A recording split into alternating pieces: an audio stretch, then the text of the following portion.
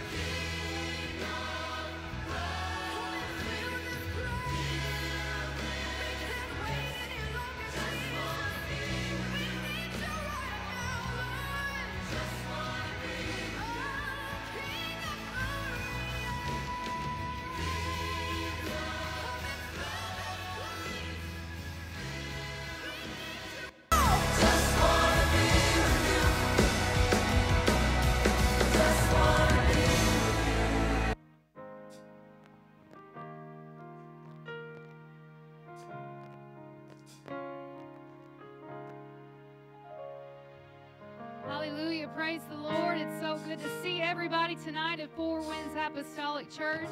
If we could all stand right now and begin to welcome the Lord into this place and begin to praise Him. Hallelujah, Jesus. Lord, we want to create an atmosphere that you can work in tonight. We want to feel you, Lord, one more time, Jesus. We just want to be with you, Lord.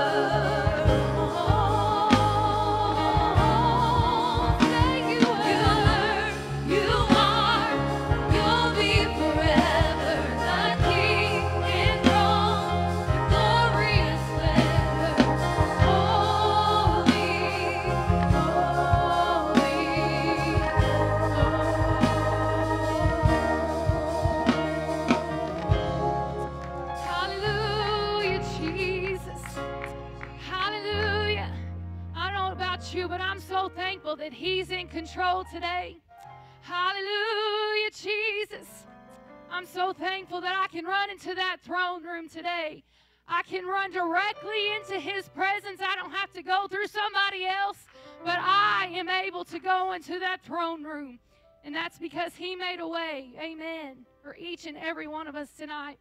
Hallelujah. We're going to go ahead and receive our offering tonight as we continue to praise and worship Him. He's worthy of it. Amen. Anybody love Him tonight? Could you pour out your love on Him right now? And thank Him, Lord, for your hand upon our life. Lord, we glorify you. Lord, we worship you. We exalt you, Jesus, and give you the praise that you're worthy of.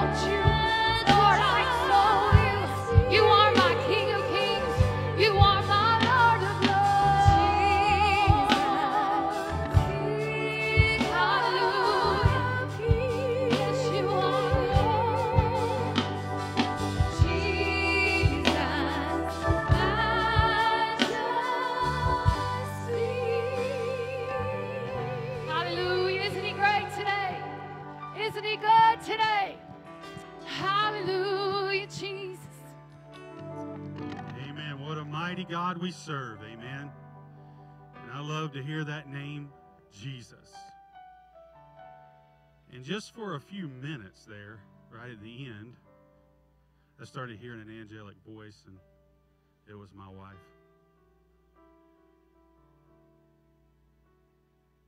And it kind of gives me the feeling that there's something worth living for God about. And I never make a deal out of this. I never say anything about it, but there are times when she gets in on the keyboard and in the live in the we call it the playroom. You can be seated. And she starts playing. And when she does, she'll start singing, and occasionally it'll be that one of the girls will go in there, another girl, another girl.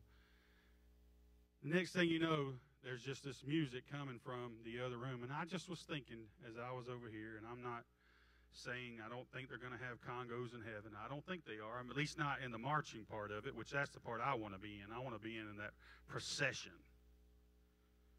I don't I don't want to be standing. I don't want to be fixed to no spot when it comes my turn to give him praise. So I don't I don't if they got keyboards in heaven, I don't want one. Give me a tambourine, I'll take it. But when I began to think about Jesus, King of Kings, and I, I began to lift my gaze, it wasn't on the crowd, it wasn't on anything else, but it was just transfixed in a place where I believe that one day we're going to be able to give him worship and glory, not inhibited by nothing in this world. Amen. The pain that we might feel in our body, we won't feel it. Amen. We will be able to worship him.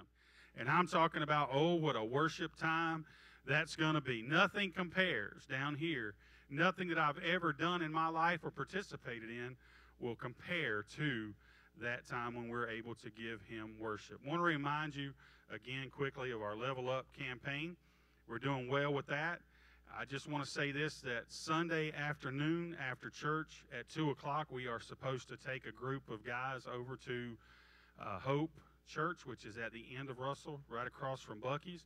Anybody who goes will go across there and get the drink of your choice within reason. Amen. It has to have certain ingredients can't be in it. No no lookalikes either, Daniel. Him and Brother Samuel were messing with us over the weekend, and they got these energy drinks. And anyway, messing with us. I told Samuel, I said, let me see that can, buddy. He's just chuckling.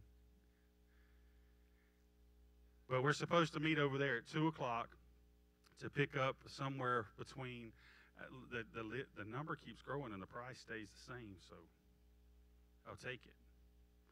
But somewhere around 280 plus 70 others that are um, uh, that are in a tucked away place. Not sure what that means, but they're put somewhere. We have a dolly. They have a dolly. They're going to let us borrow this a special chair dolly, so it's not.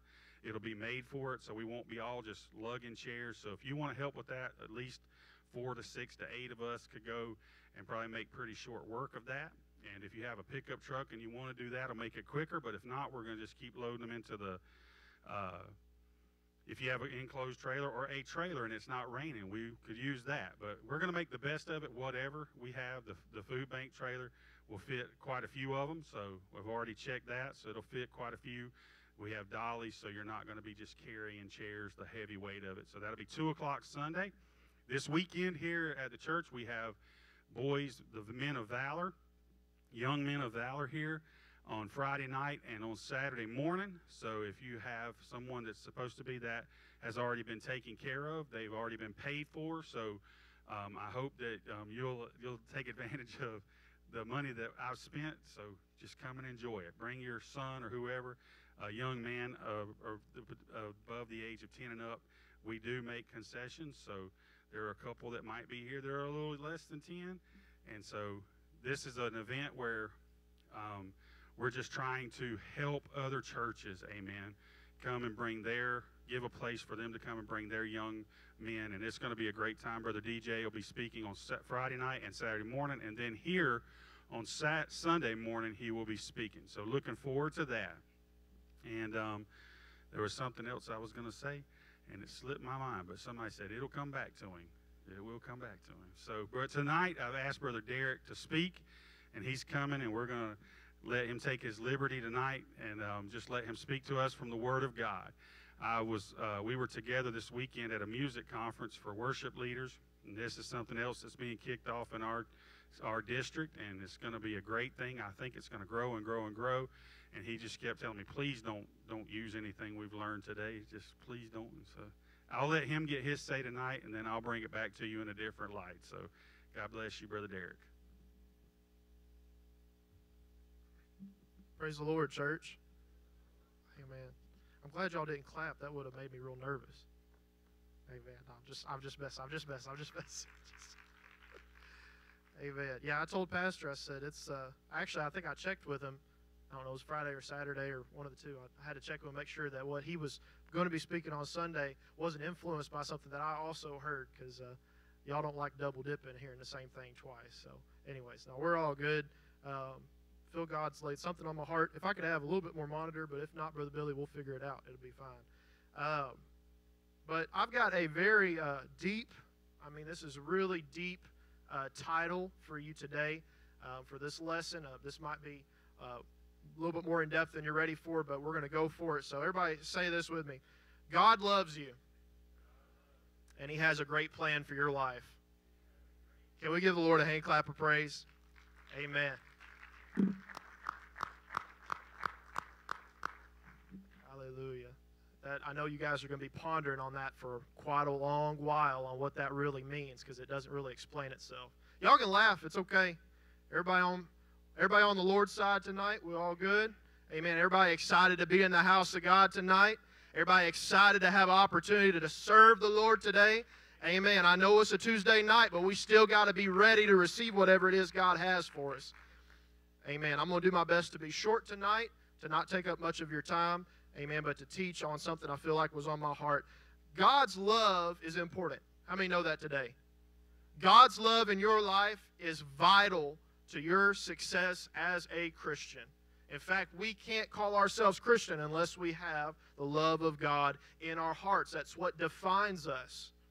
It's what makes us different from anything and everything else you may find out there in this world is the love of God that we hold in our hearts because we've received that same spirit. But the love of God is free.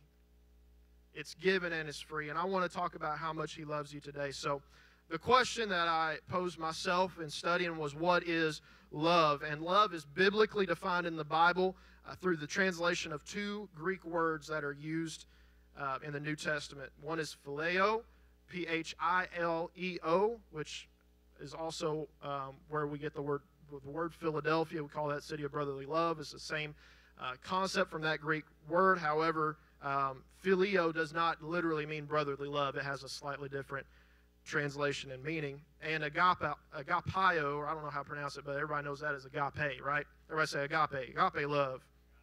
I had a lot of agape love in my life. Amen. I didn't. Sometimes when I was growing up as a teenager, I didn't want them to agape love me, but that's all I got. So that's where we stopped at was the agape love. Anybody ever had crushes? It was a joke on crushes. It's okay. Y'all good? Y'all with me tonight? Amen. We're gonna get through this in Jesus' name. But phileo to have ardent affection and feeling. Phileo denotes an emotional connection and attachment to someone. Often phileo is found with those we enjoy being around naturally. It can also be described as impulsive. And so these would be the kind of people that you love because they like the same things that you like. It's very easy to love somebody when they do all the things that you do you like. They live the way that you agree with. You don't have very many disagreements. Me and Brother Daniel hit it off pretty quickly because he likes to fish and I like to fish. The only issue with that is he fishes a little bit better than I do. We're going to remedy that hopefully over time. I'll get better and better. But we have an immediate, we can have an immediate love or develop a love for one another based on that. But phileo is very superficial. And biblically, when it's used, and we're going to talk about it in a little bit, God even asks one of his disciples about their type of love, and they kept responding with the same phileo love. It wasn't the love God was seeking. Amen. But agapeo, um, or I don't know how you would pronounce it, but we're just going to call it agape from going on from here. Uh, to have esteem or high regard. An agape type of love is one of the primary characteristics of Christ and thus a Christian lifestyle. Agape love maintains a connection of care and concern despite differences. This is evident in Jesus' commandment to love, that word is agape, your enemies, which is found in Matthew chapter 5 and verse 44. We're going to read that together. Amen. Bible says, But I say unto you, love your enemies. It's an agape love, not just a love them if you agree with them, not just to love them if they do all the things that you like and live the ways that you agree with, but love with high esteem your enemies. Bless them that curse you. Do not do good to them that hate you, and pray for them which despitefully use you and persecute you. You see, you can't superficially love somebody who persecutes you. Our, our nature, it just doesn't work that way. Humanity, we're very selfish. If left to our own devices, we're very inwards about what I can gain, what I can. So if we got stuff coming in from a type of love with a relationship, we're good with that. If my friend takes me out every now and then, if my friend does this with me, everything's good. But as soon as they have a difference, as soon as they maybe say something I don't agree with, if that love isn't deep enough, then I won't love them anymore, but in fact, I will despise them. And that's not the love that God commands over us today. Can I get somebody to say an amen? John chapter 21 and verse 15 through 17, we find Jesus and Peter having a discussion regarding the differences in these types of love and the importance of the type of love that Jesus has for you and for me. The first two times Jesus asked Peter about this love, he asked Peter if he loves him in an agape type of love, meaning regardless of what happens, regardless of what I may do or may not do, do you love me and have high esteem and regard for me like I need you to have for anybody you may come against or, or towards in the future? Because, see, Peter couldn't see what was going to be in his future. None of the disciples could see what was coming down the road. They were still rejoicing. They had just been mourning over the death, burial, and now they were rejoicing over the resurrection of a risen Savior. They had no way of knowing what was in that future, but Jesus could see that Peter would one day be crucified, that many that he was talking to in that setting may not live their full lifetime. Amen. And so he asked Peter, he said, do you love me with an agape kind of love? Not a love that just says, I love you because of what you've done over the last, uh, the lifestyle of your ministry, Jesus, and not just because you kept our bellies full, Jesus, and not just because you filled this big old net full of fish that we just ate, Jesus, but do you love me, Peter, with a high esteem and for who I am, for the good times and for the bad times? Amen. So if we read here, I'm going to try to pick out which ones are which. So the Bible says, when they had dined, Jesus saith to Simon Peter, Simon, son of Jonas, lovest thou, and that love there, God is saying, do you love me with an agape kind of love, more than these? And he saith unto him, Yea, Lord, thou knowest that I love, but the word, the Greek word that Peter used right there was not the same kind of love that Jesus was talking about. The Bible, if you read the, the Greek translation, it, it uses those different forms of that love word in there, and they have different meanings behind them. And, and when Peter responded, he, he used the phileo version of that love. And he saith unto him, Jesus said unto Peter, What? Feed my lambs. Saith unto him again the second time, Simon, son of Jonas, lovest thou me? He saith unto me, and that love, again, God is asking, Do you love me unconditionally? Do you love me like I love you, Peter? And Peter said, Yea, Lord, thou knowest that I love thee. But it was still that same phileo love, Sister Remillard, that was superficial, that would not pass the test of time. And God went and asked him again. This third time, God asked him, Do you love me, phileo? He used that version of the love. He said, Do you love me again? Simon, son of Jonas, lovest thou me? And Peter was grieved because he said unto him the third time, Lovest thou me? And he said unto him, Lord, thou knowest all things. Thou knowest that I love, love thee. And again he used the phileo. Jesus saith unto him, Feed my sheep. There's a whole, if you just read that and you read it in the King James Version, it's just a back and forth that takes a little bit more reading and understanding to figure out, okay, why was this so important to have this discussion? But if you take it back to the, the, the, the, words that may have been used or probably were used in the translation that it was taken from, the context becomes so much bigger. Because Peter had a love for Christ, obviously. He would not have followed him all those years if he did not.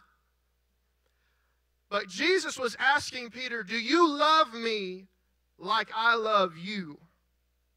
Like I love all these other disciples, not just superficially, not just when the test comes and the trial comes and turmoil comes. Are you going to turn your back on me, Peter? He was challenging him, and he said, You've got to have the reason he kept saying, Feed my sheep, is he was trying to teach Peter and the other disciples, You've got to have my kind of love to reach people. You've got to have a godly kind of love if you're going to be able to develop more disciples, more followers of Christ. And I was getting ready and preparing for this message, and I'm going to be honest with you, I had a whole other thing going on that I thought God was pulling me to and was on my heart, and it changed today. So that's why it's a little impromptu today. But I, I, I couldn't get past this. I just felt I was praying and I was seeking God's face, asking for favor, and he, he I just felt it on my spirit. It says, Do they know that I love them? Do they know that I love them? Because you see, God's love will carry you a mighty long way.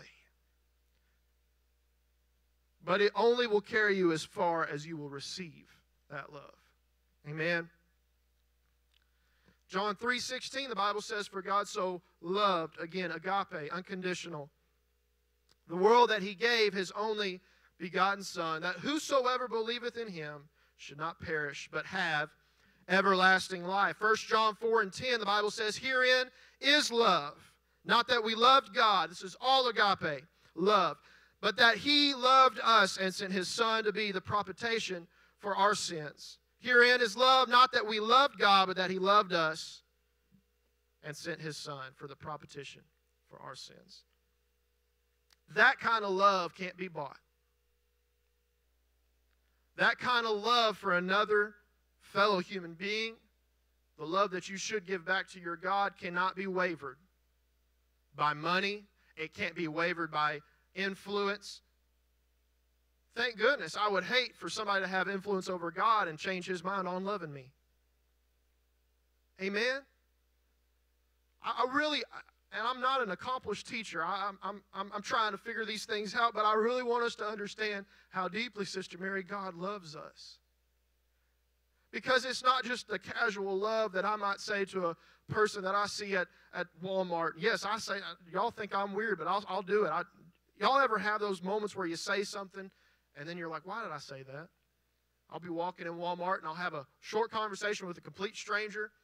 Um, my wife gets embarrassed because I'm always doing silly stuff like that. And then when I'm done, I'm saying, well, we'll see you later. Love you. We'll start walking away. I'm like, I don't know that person from the end of the earth. And I used to kind of goad myself about it. Like, you don't to say it. And I stopped doing that because you know what? People need to know that they're loved. Whether they accept it or not, it's not the big deal. But when I said that, I really do have a godly love for them because God has so loved me. Good job, Brother Derrick. You quoted the Bible. It's there for a reason. He so loved us when He died on the cross and paved a way for us to receive salvation. We need to make sure that we're perpetuating, perpetuating that love to others in our lives. It's a line of communication. Amen. So, what is godly love? It is vital and essential that we understand fully how God loves us. Firstly, we must grasp that the nature of God is love. If we turn to 1 John chapter 4 and 8. Amen. The Bible says, He that loveth not knoweth not God, for God is love. And eight verses later in verse 16, Bible says, And we have known and believed the love that God hath to us, because God is love. And he, amen, that dwelleth in love dwelleth in God, and God in him. And so, Brother Derrick, why is all this love stuff so important? Or, Brother Derrick, I know, I know love is important, but I, I, I challenge you to take a step back and just think about the fact your God, the one you serve, the one you praise, the one you worship, the one you pray to, his very nature is love. It's not Brother Derrick's words, it's the Bible's words. He expressed it in so many ways. And we need to realize that that love is as important as it is in our lives. It's so much more important in other people's lives. Especially the person that doesn't know true love. That's only experienced that phileo love. That's only experienced the hurt and the heartache when somebody they trusted and really appreciated turned their back on them as soon as trials came. And that's what this world is seeking is a true love today. Amen. Love exists within the heart of man because the Spirit of God flows through us and lives in us. Amen. God's love is everlasting, meaning it, it is constant and does not change. Jeremiah chapter 31 and verse 3 says, The Lord hath appeared of old unto me, saying, Yea, I have loved thee with an everlasting love. Therefore, with loving kindness have I drawn thee. Phileo love is, not, is often contingent upon the actions or behavior of others. However, godly love and the way God loves us is not predicated upon such contingencies. I know I'm, maybe I'm repeating myself a whole bunch, and I apologize if I am, but again, it, it's important because I feel like sometimes in my Christian walk, I say I love God, but I, I don't mean it the way that I know I need to mean it because I don't feel it like I know I need to feel it. You see, love makes you do crazy things. Love right now is keeping me from going over there and wearing that little girl out. No, I'm just messing. Love is what brought me to an altar. Not my love, because I didn't have any, but His love for me brought me to where I could be redeemed. You see, I couldn't do it on my own, and there wasn't anybody else in this world that could get me to that place but Him. That's how much He loves you. Not us. I want it to be personal. God loves you, child of God. God has a desire to see you succeed. He's not satisfied with you going off and doing your old thing. He loves you so much, He's made a plan and He has a will for your life. He doesn't want anybody else to distract you from that.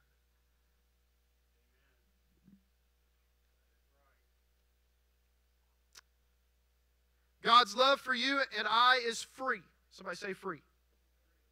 It does not come with qualifiers or requirements. Can we give a hand clap of praise for that?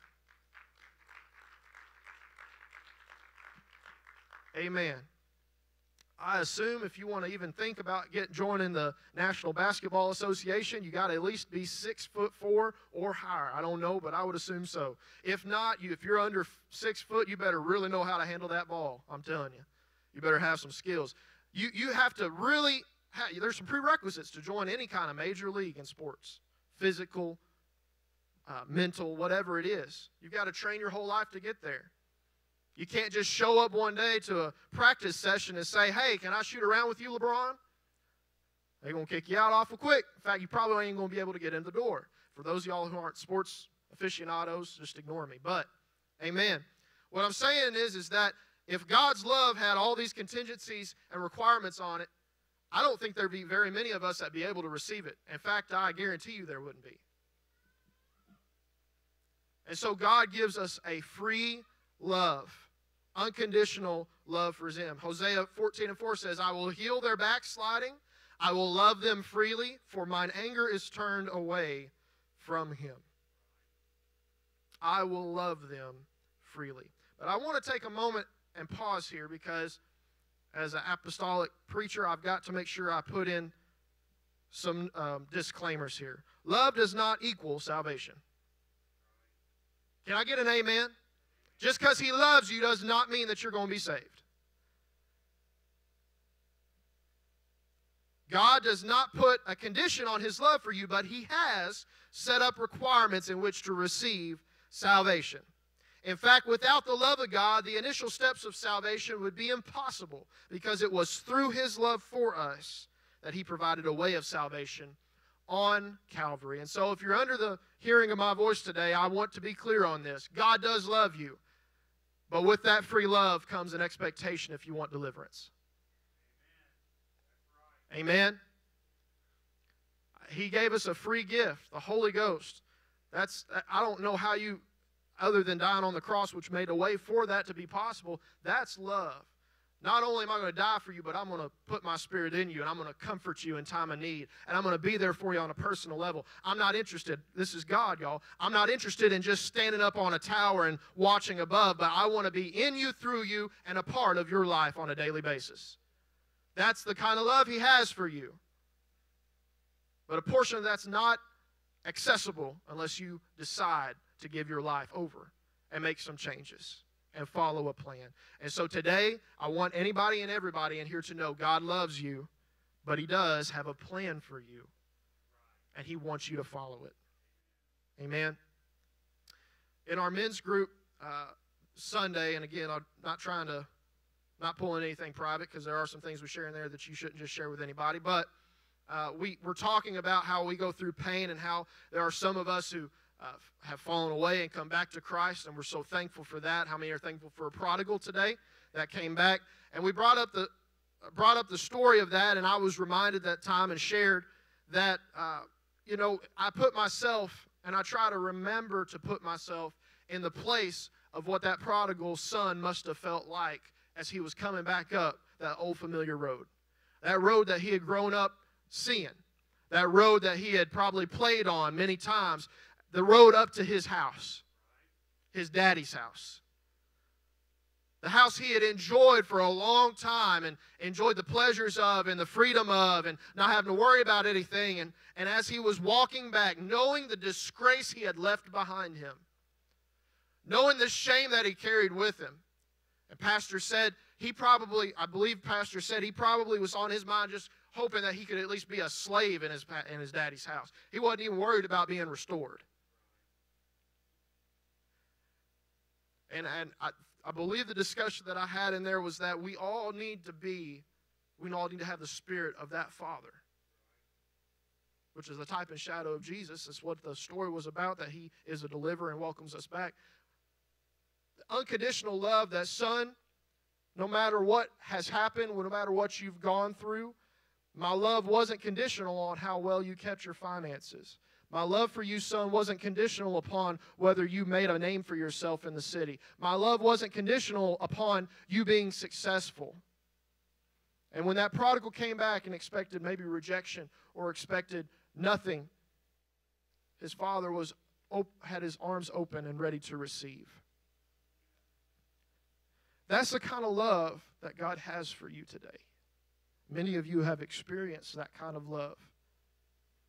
And as we talked about in our lesson, we can't forget what God has done for us. So when we start forgetting the love that God has for us, that things start to slip. Old habits start to reintroduce themselves. We start doing things that we used to do and we knew not to do, but we start doing them again because we forget how much that love covered in our lives. Amen. So, how do we receive the love of God? Well, this wasn't a biblical revelation. This was just Brother Derrick thinking and praying. But to be loved, you must receive it. And again, disclaimer this isn't easy believism up here. Brother Derrick's not going crazy. But to be loved, simply, you must receive it. Love for another is always legitimate and measurable by the one giving it. If I say I love you and I really love you, I love you. You can't change the fact that I feel like I love you and I'm telling you I love you. However, it can only be validated when the one for which love has been given receives it. And my example was uh, marriage. I could love my wife till the day is long, all day long, every single waking hour of my life, I could text her, I love you, I love you, I love you, I want to be with you, I want, I want to be next to you. But if she never replied and said, I love you too, there wouldn't be no Abigail today, or there probably wouldn't be in Georgia. There'd be a lot of things in my life that would have been different if the love that I was giving was not received and reciprocated. That's how marriage works, folks, for most of us. Amen. And, and, and, today, God gives us free. We've already said it's free, it's everlasting, it's unconditional. That's the love that your Creator has for you. Not only He created you, but He died for you. He didn't decide to wash you away again, but He died for you and made a way. But that love has to be received. I have to say, God, thank you for loving me truly and unconditionally. And I've got to give it back to Him. And that's where I'm trying to work on my life right now is really having, Sister Mary, a love for God in my heart. Because it's not enough just to get up here on a pulpit and say, I love God. It's not enough just to stand up and clap your hands and rejoice and act like you love God. Because you can fool me all day long. But when the time comes and judgment is ready, the question is not going to be, did you feel, did, did you look like you loved God? But it's going to be, do you love Him? I'm trying to keep this broad because there's a lot of things that apply in this love. There's a lot of things that are covered in that love. Because when you love God back, you start changing the way that you are, the actions that you do. Brother Derrick, I'm going to go back to my marriage. Brother Derrick's not the same man he was uh, in 2017 when he married Sister Teresa. I've made a lot of changes along the way, Sister Anderson. Hallelujah. I'm surprised she didn't say hallelujah back there. If I had maintained, even though I loved her with everything I was, if I had kept being the same person that I was the first year of our marriage, uh, I don't want to speak ill, but we wouldn't be in a good place. Let's just put it that way. Because her love for me, it was unconditional, but because we're human, it was a little contingent upon Brother Derrick changing a little bit along the way. She saw who I could be, can I get, come on, somebody? I mean, can I get an amen on that? He saw what we could be. He didn't marry us for what we are right now. Feel the Holy Ghost a little bit now. He didn't get interested in you because of anything that you did today. Just letting you know.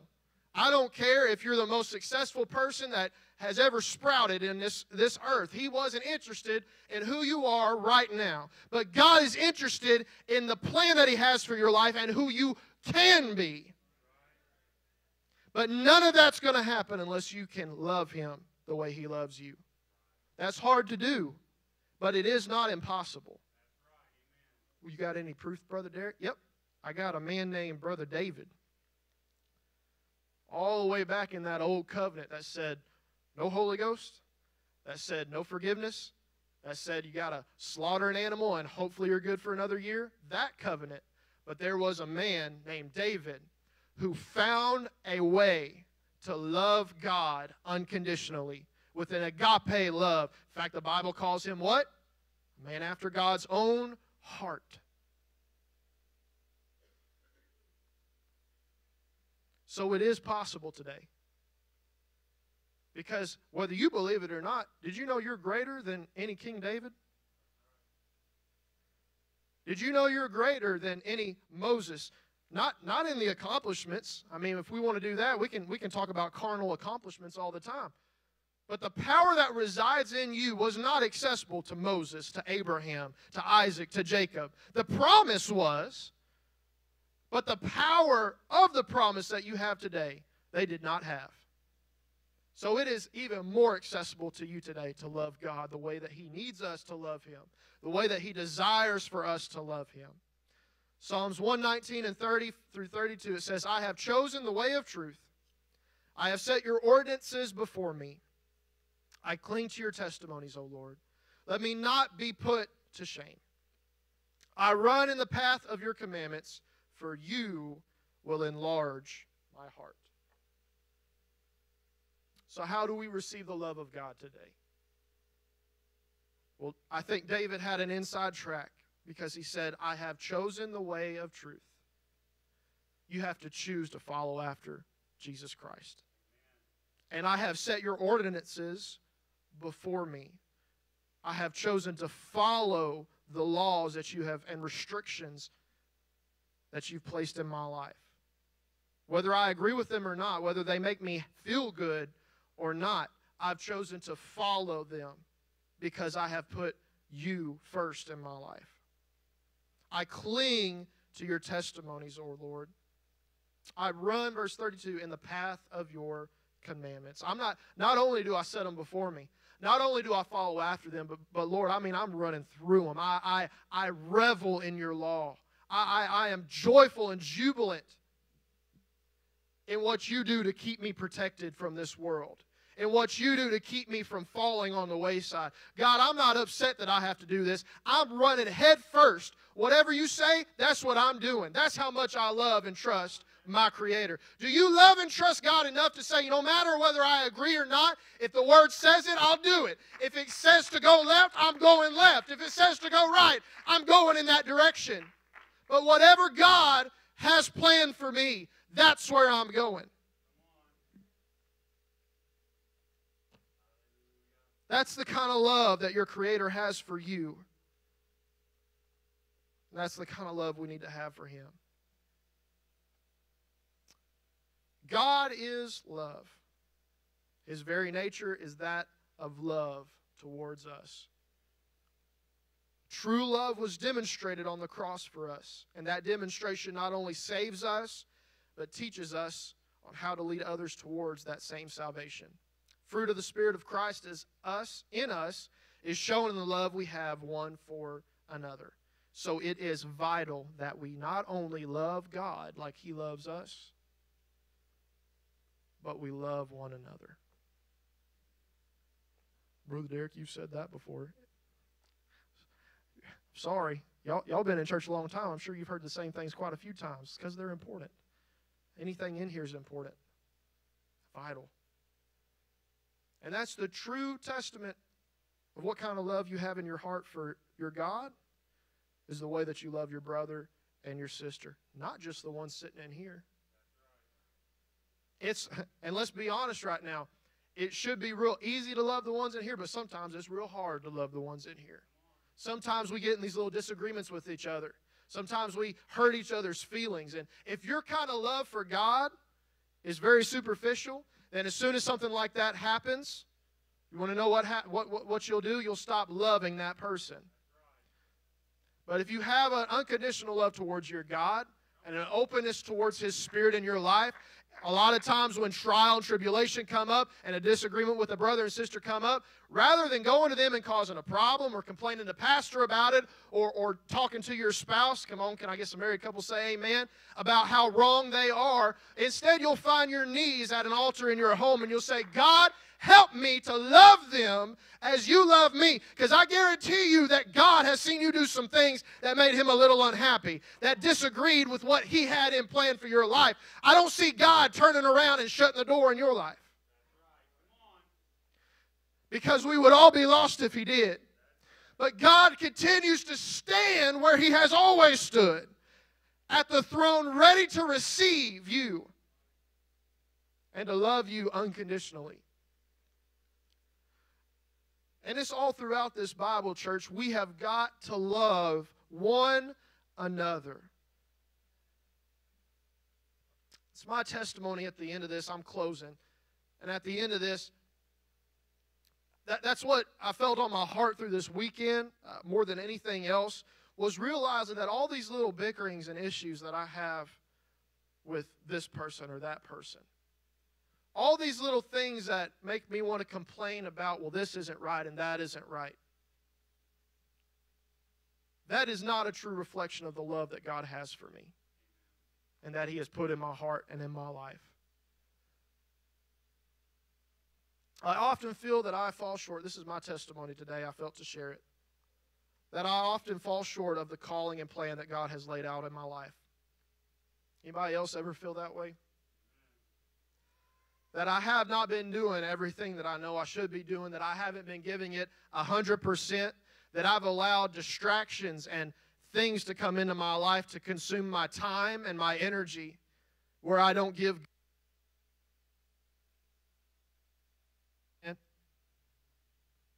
Often disappointments and a lack in my own self discipline create an aura of failure. More often, I find myself so busy with my day to day activities my own wants and desires that I become cold to the plan that God has for my life.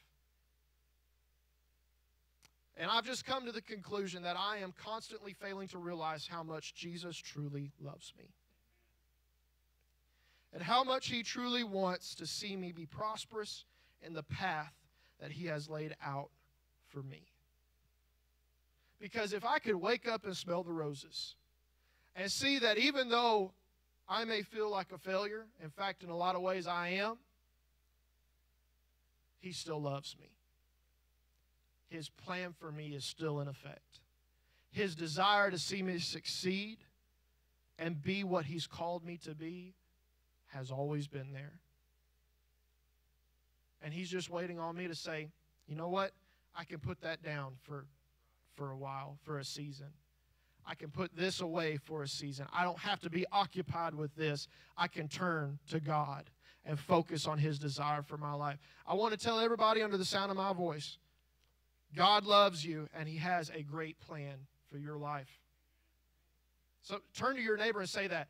God loves you and He has a great plan for your life. Are you ready to receive it today? It's free, it's accessible, you can do it. Amen.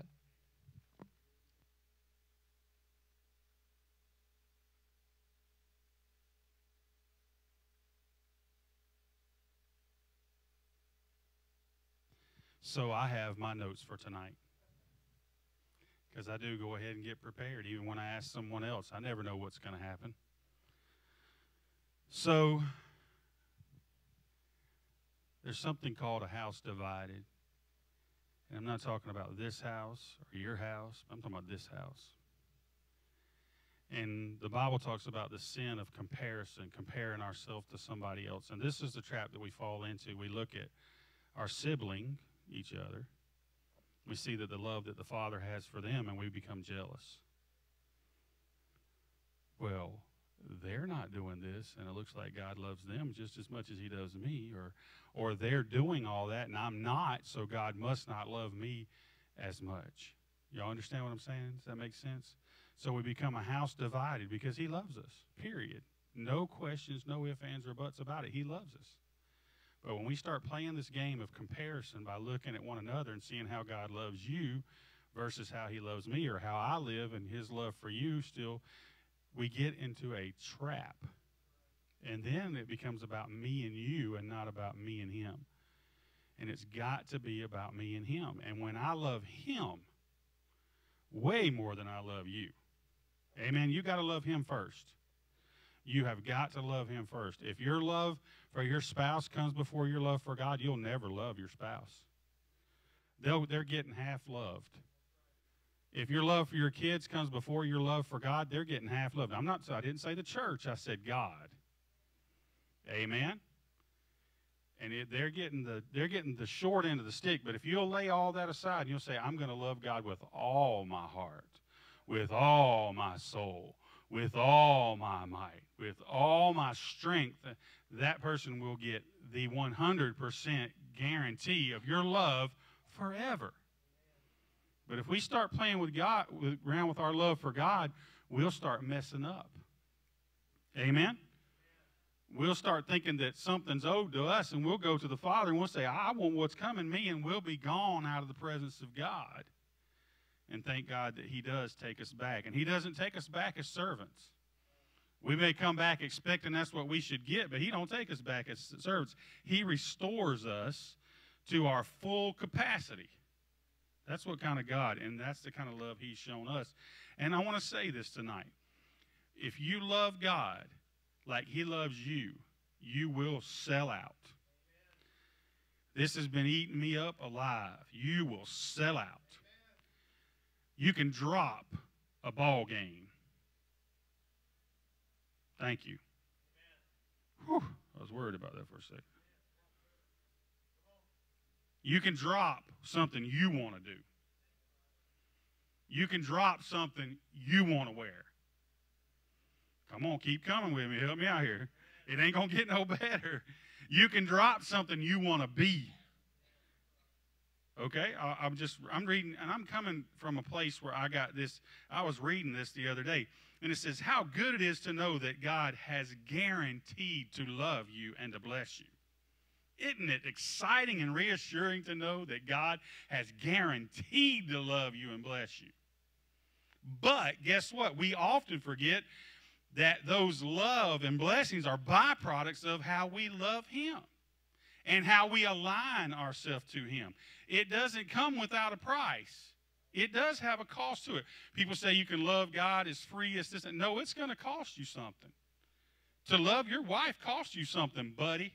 It better have. To cost your husband, it costs you something. Amen?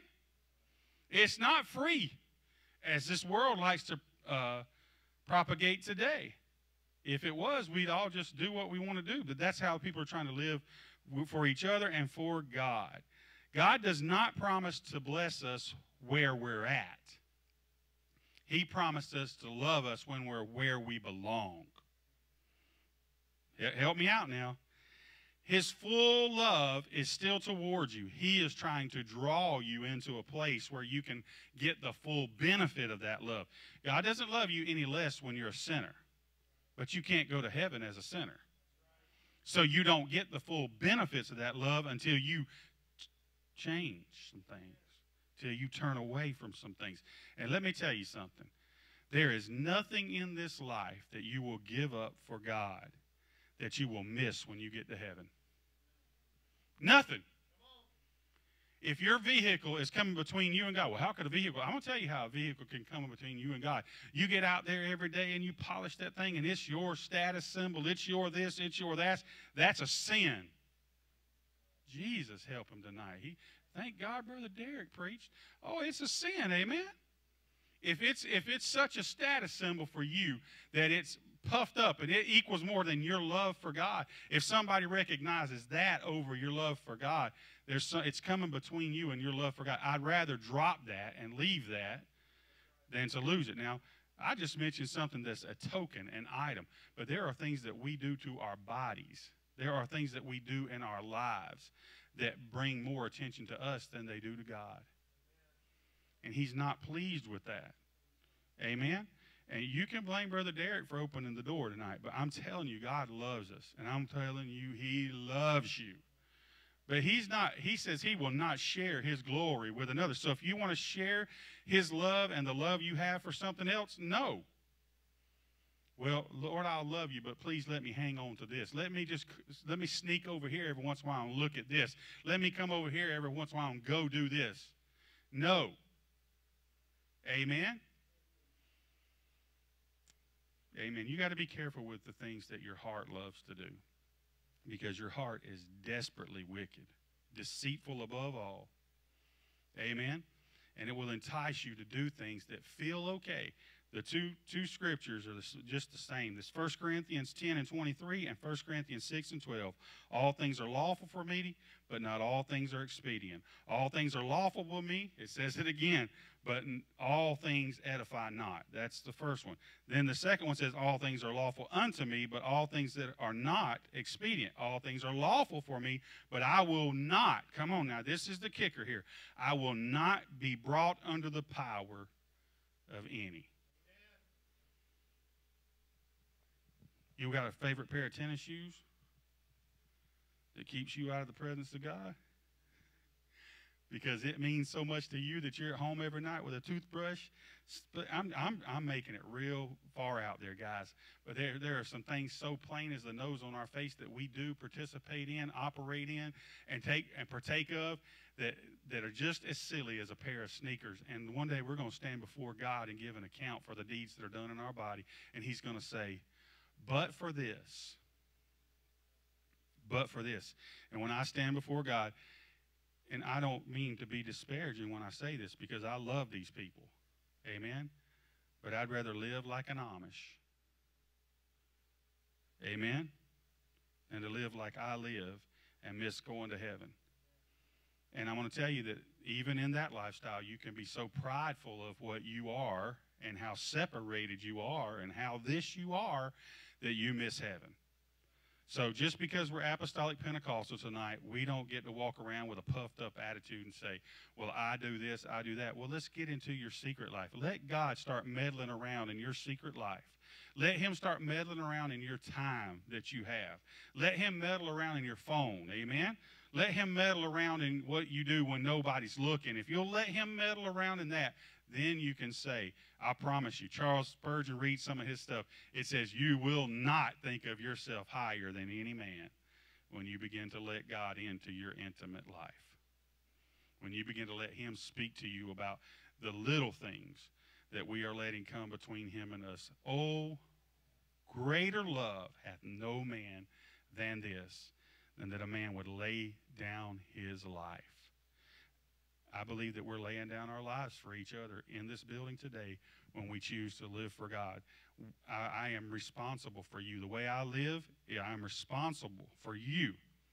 And if I want to bring something in front of you and flaunt it as if it was me, that can come between me and my relationship with God. I love you. I appreciate what Brother Derrick had to say tonight. I feel like it was spot on, and I feel like it's what we needed to hear tonight. Why don't we stand and ask the Lord to go with us as we leave tonight, and that He would help us? I mean, how many of us would honestly say, I'm going to ask the Lord to, to get into my intimate life? I'm going to ask Him to just, just start working on me. Lord, take your time now. I don't need a whole ball of wax at one time, but just start working on me about one thing that, uh, that could come out of my life that comes between me and you. I want it out of my life. And he'll, he'll help you. Amen. Pastor doesn't preach on everything. I can't. I can't make a line on everything because to make it on one person wouldn't be long enough for the other one, wouldn't be short enough for the other one. You got to go to God and ask God, please work on me. Lord, I love you tonight. I thank you for your goodness and for your mercy. Most of all, I thank you for the great love that you have shown me, the great love that you have shown this church. I pray tonight, God, that you would give